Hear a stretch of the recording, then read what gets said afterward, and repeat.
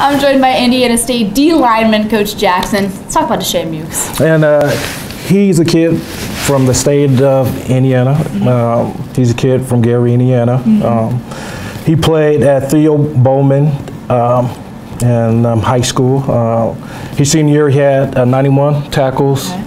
12 sacks. Um, he's a kid that didn't get a lot of offers that's coming out of high school, so he went out to California. Uh, these past two years, he played uh, for the College of the Desert out there, and uh, he and, uh, comes to us. Um, highly recommended. A tough kid, hard worker, and um, he excited to come back home to the state of Indiana. Awesome. Now, you went to Indiana State, a proud Sycamore grad, an All American D lineman. From your perspective, what makes him so great on the field?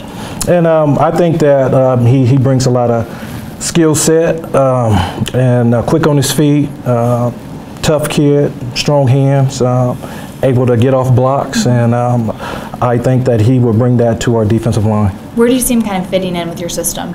And um, he's going to play nose for us in our 3-4 scheme, and uh, he, he's a kid that can get a push up the middle, but, but also he's a kid that can control both of those A gaps for us. What's your favorite intangible about Deshay? And um, he's just a hard worker, you know, tough kid. Um, playing the nose and uh, position for, for us, there's not a lot of glory in, in that.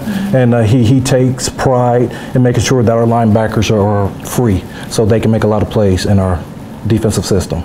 Awesome. Well, looking forward to see what Deshay Mukes does for you guys. This is 2016 National Signing Day for Indiana State.